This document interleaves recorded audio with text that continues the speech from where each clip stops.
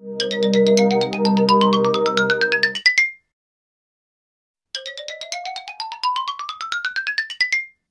I could see what I was doing, that would be great.